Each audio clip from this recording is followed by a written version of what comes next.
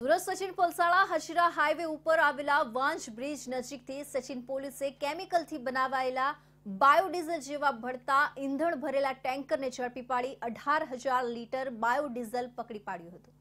પોલીસે બે ઇસમો સહિત તેતાળીસ લાખ પાંત્રીસ હજારના મુદ્દામાલ કબજે કર્યું છે. સાથે જ પ્રતિબંધિત બાયોડીઝલ ક્યાંથી ક્યાં લઈ જવાતું હતું અને કોણ તેનો માલિક છે તે સહિતની વધુ તપાસ શરૂ કરવામાં આવી છે. સચિન પલસાણા હજીરા હાઈવે વાંચ બ્રિજ નજીક ટેન્કરમાં ગેરકાયદેસર રીતે કેમિકલથી બનાવેલા બાયોડીઝલ જેવું ભળતું ઈંધણનું ફ્યુલ લાવીને ઠલવાઈ રહ્યું હોવાની બાતમી બાદ વોચ ગોઠવવામાં આવી હતી. પોલીસ રેડ કરી એક ઇસમ કિશોર અનિલ યાદવને ઝડપી પાડવામાં આવ્યો હતો. ઈંધણનું નિરીક્ષણ કરવા તથા જરૂરી નમૂના મેળવવા માટે એફએસએલ અધિકારીને સ્થળ પર બોલાવવામાં આવ્યા હતા.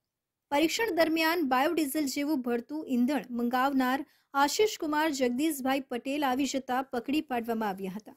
પકડાયેલા ઈસમો પાસેથી બાયોડીઝલ જેવું ભળતું ઈંધણ અઢાર હજાર લીટર, જે પૈકી એક લીટરની કિંમત નેવું લેખે કિંમત સોળ લાખ વીસ હજાર, ટેન્કરની કિંમત બાર લાખ અને બ્રેઝા કારની કિંમત છ લાખ તથા બંને ઈસમો પાસેથી મળી આવેલા અલગ અલગ કંપનીના બે મોબાઈલ ફોનની કિંમત પંદર હજાર મળી કુલ્લે રૂપિયા ચોત્રીસ લાખ પાંત્રીસ હજારની મત્તાનો મુદ્દામાલ કબજે કરી આગળની તપાસ હાથ ધરી છે. આલ્ફા હોટલથી આગળ હાઈવે પાસે વિકાસ સ્ટીલની બાજુમાં એક ટેન્કરમાં બાયોડીઝલ જેવું ભળતું અને વાહનોમાં ઈંધણ તરીકે ઉપયોગમાં લેવાતું હોય એવો બાયોડીઝલ ટાઈપનું પ્રવાહી ભરેલ એક ટેન્કર પડેલું છે.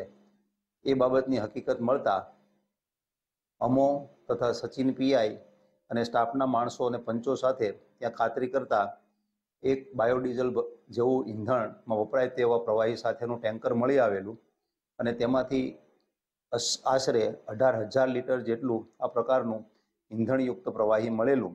આ બાબતે એફએસએલને સ્થળ પર બોલાવવામાં આવેલી અને જરૂરી કાર્યવાહી કરી સ્થળ પરથી બે ઈસમો એમના ટેન્કરના ડ્રાઈવર કિશોરભાઈ અને આશીષભાઈને આ ગુનાના ધરપકડ કરવામાં આવેલી છે. આરોપીઓ કિશોર, અનિલ યાદવ તથા આશિષ કુમાર જગદીશભાઈ પટેલની ધરપકડ કરાઈ છે.